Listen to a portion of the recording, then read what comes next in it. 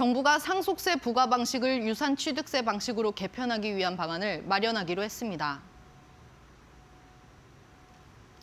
기획재정부는 오늘 전문가 회의를 열고 현재 유산 취득세를 채택하고 있는 독일과 일본 등 주요국 제도를 분석, 논의했다고 밝혔습니다.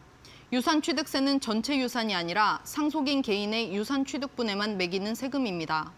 현재 상속세는 피상속인의 재산 총액을 기준으로 과세하고 있어 상속인이 실제 받는 상속분보다 세금 부담이 더 크다는 지적이 제기되었습니다.